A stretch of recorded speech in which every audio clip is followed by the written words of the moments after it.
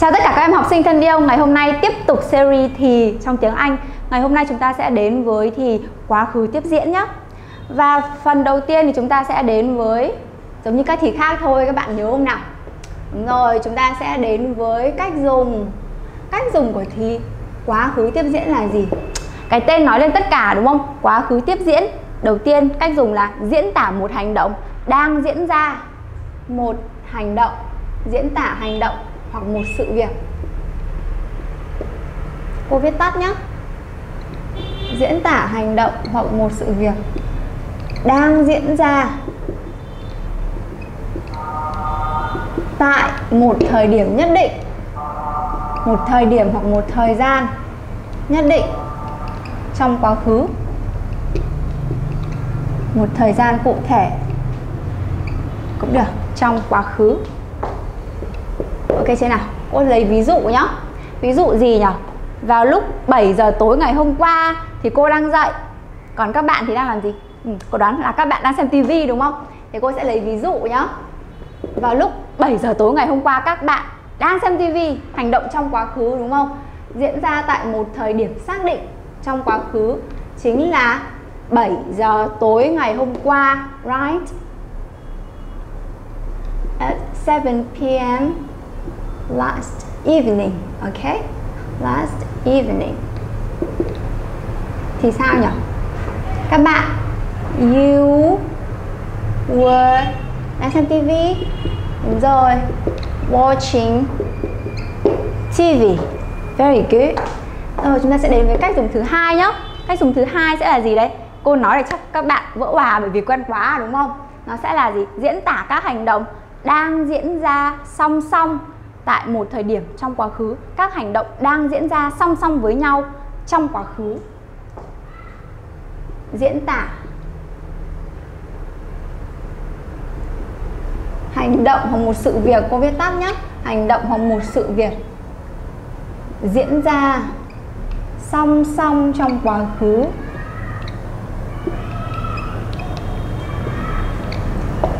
Alright. Các bạn lấy cho cô một ví dụ nào. Ngày hôm qua lúc 7 giờ, các bạn đang xem tivi Còn cô Vân có thể là đang dạy học đúng không? Chính xác tối ngày hôm qua là thật sự là cô cũng đang dạy học vào lúc 7 giờ. Alright. So, at 7 p.m. last evening. Same Giống ý hệt như câu trên thôi. You were watching TV Rồi, trong khi cô đang dạy học thì chúng mình sẽ dùng từ while, hoặc chúng mình có thể dùng từ when nhá. Chúng ta có hai trạng từ. Trong khi while hoặc là when.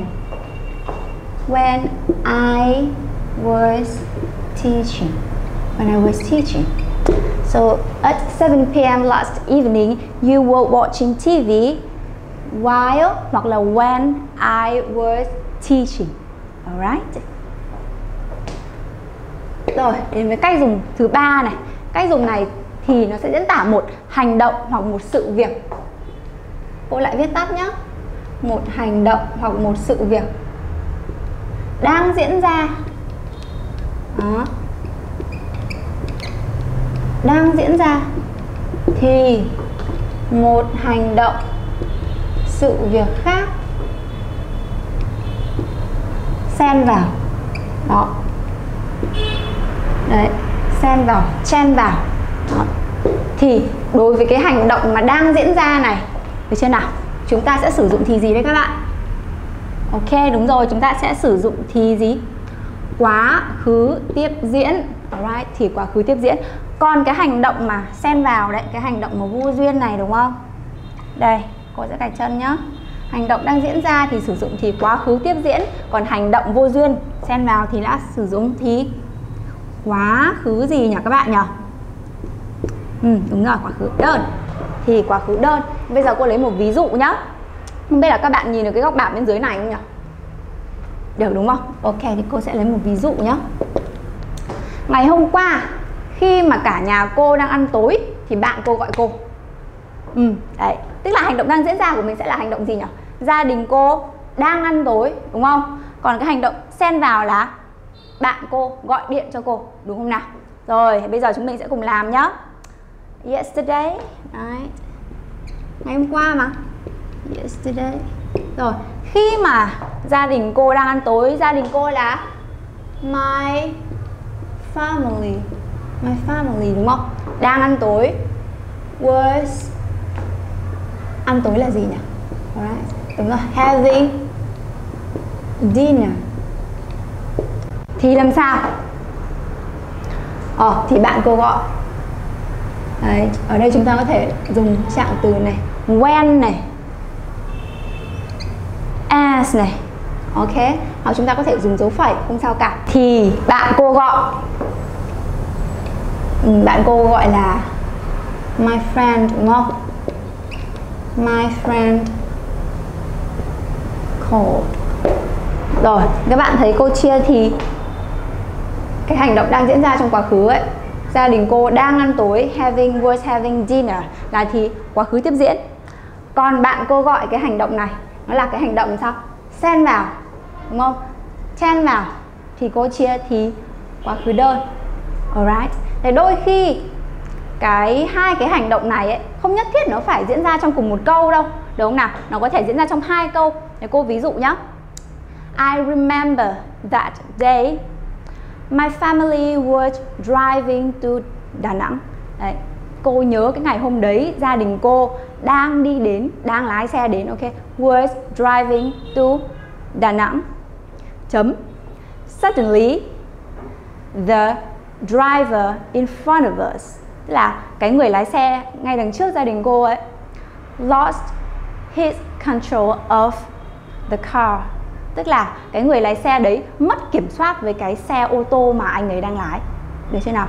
Thì cái câu đấy làm sao? Nó sẽ là một cái câu riêng biệt. Không nhất thiết là mình phải ở trong một câu như thế này nhá. Các bạn lưu ý. Nhất là những cái bài tập mà điền từ ấy đó thì nó sẽ phụ thuộc vào cái ý nghĩa cũng như cái cách dùng của thì, nha. Phần thứ hai chúng ta đã biết rồi, đúng không? Với tất cả các bài thì chúng ta sẽ đi đến công thức chúng ta sẽ tìm hiểu xem là để viết một câu ở trong thì quá khứ tiếp diễn thì mình cần chủ ngữ ở đâu này, động từ to be có hay không này, verb thì phải để ở dạng gì thì chúng ta sẽ cùng tìm hiểu trong phần công thức. Okay. phần công thức thì như mọi khi chúng ta sẽ có câu khẳng định đúng không? Câu khẳng định thì cô sẽ ghi ký hiệu là dấu cộng nhá. Rồi, câu khẳng định trong thì quá khứ tiếp diễn, chúng ta có công thức gì? Ai nhớ không? Chắc chắn đầu tiên phải là chủ ngữ đúng không? Cô viết sẵn đây rồi. Chủ ngữ. Rồi đến gì nhỉ? Nếu trong thì hiện tại tiếp diễn thì sẽ là gì? Am is a cộng verb bình đúng không? Thế trong thì quá khứ thì to be chúng mình chia là gì? Chính xác. Was này were này và vẫn cộng với verb bình đúng không? Rồi, ok. Cũng tương tự với thì hiện tại tiếp diễn thôi. Thì quá khứ tiếp diễn là cũng thế muốn hình thành một câu phủ định thì chúng ta sẽ cần thêm cái gì đây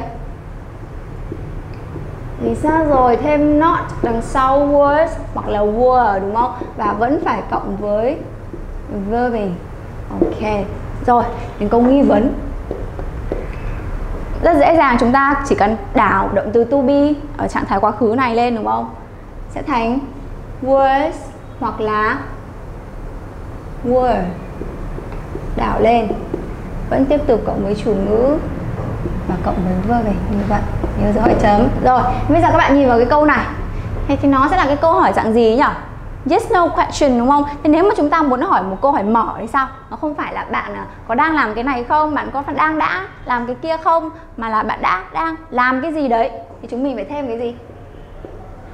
Rồi, chúng mình thêm WH question words đằng trước đúng không? Rồi, chúng ta thêm những cái từ để hỏi ví dụ như gì nhỉ? What nè, where, how đúng không? When nè rồi gì nhỉ? Which, alright. Những cái từ đấy gọi là từ để hỏi. W question, right? Rồi, cộng với gì?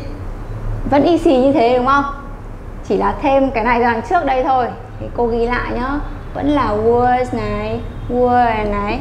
Chủ ngữ và verbing hỏi chấm.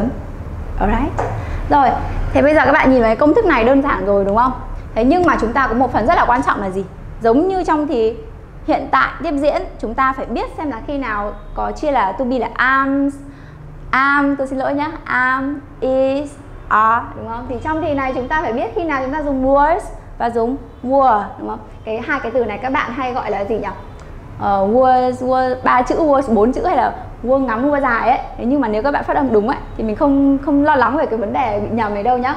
Cái từ này mình đọc là was was chữ s was này là were were were uh, ok. Rồi như các bạn đã biết nếu mà bạn nào mà học chắc thì thì quá khứ đơn đấy chị cũng biết rồi đúng không? Nhưng cô vẫn nhắc lại. Thế khi nào mà mình đi với words nhỉ? Chủ ngữ như thế nào? Chủ ngữ như thế nào? Rồi chủ ngữ số ít đúng không? Bao gồm có ai này he này, she này, it và cái gì? Những cái danh từ số ít, đúng không? Danh từ đếm được số ít nhá. Rồi, danh từ đếm được số ít và danh từ gì nữa? Danh từ không đếm được, đúng không? Danh từ không đếm được. Cô ghi là không đếm nhá. Danh từ đếm được số ít và danh từ không đếm được thì chúng mình sẽ phải cộng với words, đúng nào? Rồi, thế những chủ ngữ nào thì mình dùng mua ở đây rồi, bên trên là số ít, bên dưới là số nhiều, đúng không? Đơn giản rồi. You, có nghĩa là bạn, có nghĩa là các bạn nữa. Right. they này. Chúng ta là we và các danh từ đếm được số nhiều, đúng nào? Các danh từ đếm được số nhiều. Ok, thì chúng ta sẽ phải cộng với cả were alright. Rồi. Thế nhá. Bây giờ cô sẽ lấy ví dụ. Nào. Cô sẽ lấy một ví dụ. Sau đó thì cô khẳng định trước đi. Sau đó thì chúng mình sẽ áp dụng công thức. Chúng mình biến nó thành câu phủ định. Xong rồi áp dụng công thức biến nó thành câu nghi vấn nhá. Câu của cô sẽ là ngày hôm qua chúng mình đang học. Ngày hôm qua chúng mình đang học nhá. Ừ, ví dụ vậy đi. Tối ngày hôm qua, tối chiều, đúng không? Yesterday evening. Tôi đang học. Tôi thì phải đi với gì nhỉ? Was hay là were rồi, chính xác. Was đúng không? Was gì bởi vì chủ ngữ là ai mà, số ít mà. I was studying. I was studying. Rồi Ok, thì bây giờ mình muốn biến câu này thành câu phủ định thì mình phải làm gì đây? Làm gì nhỉ? Alright, chính xác, mình phải thêm not vào sau was đúng không? Nó thành gì? Yesterday, right? Yesterday evening. Okay. I was not studying. I was not mình có thể viết tắt thành gì nhỉ? Wasn't. Wasn't. Alright. Rồi, thì bây giờ mình đã xong câu phủ định rồi. Bây giờ mình muốn biến nó thành câu nghi vấn như thế nào? Tối ngày hôm qua bạn có đang học không? Tối ngày hôm qua bạn có đang học không? Thì chúng mình gì? Đảo was hoặc là were lên. Trường hợp này chúng ta sẽ đảo gì? Was, alright. Rồi, sẽ thành gì nhỉ? Yesterday evening Bạn có đang học không? Were hay was you? Rồi Phải là Were you đúng không? Were you studying? Ok, cô sẽ viết xuống dưới này nhá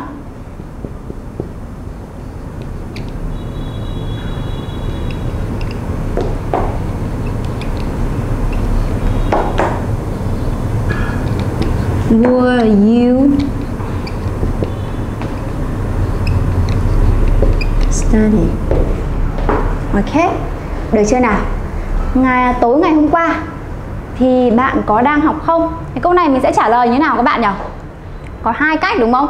Yes hoặc no. Rồi, trả lời yes thì mình trả lời thế nào? Yes, I was đúng không nào? You thì là you were, nhưng mà I phải là I was. Yes, I was. Không thì no, I was not, hoặc là no, I wasn't. Alright rồi, thế nếu bây giờ cô không muốn hỏi một cái câu hỏi đóng như thế này, mà cô muốn hỏi là tối ngày hôm qua bạn làm gì? Bạn làm gì? Đúng không? Thì cô hỏi thế nào? Rồi, cô phải dùng từ để hỏi gì đã nào? Um, what đúng không? What. Và phải dùng động từ gì? Bạn làm gì? Động từ làm là do đúng rồi. Và phải biến nó về verb in là doing. Rồi thế tối hôm qua bạn làm gì? Bạn đang làm gì? Thì sẽ là gì? Yesterday evening. What đúng không? Từ để hỏi what were you doing? Đấy trên nào? Thế nhá thế bây giờ chúng ta cùng thực hành và thành thạo thì quá khứ tiếp diễn nhá. Nó rất đơn giản, đúng không nào? Và ngày hôm nay chúng ta đã đi từ A đến Z thì quá khứ tiếp diễn. Hy vọng các bạn học tốt, chăm chỉ luyện tập, thực hành để chúng ta có thể nhuần nhuyễn cái thì này. Để trong tương lai mình có thể tự tin sử dụng, không còn nao núng, không còn bỡ ngỡ gì nữa nhá. Chúc các bạn học tốt.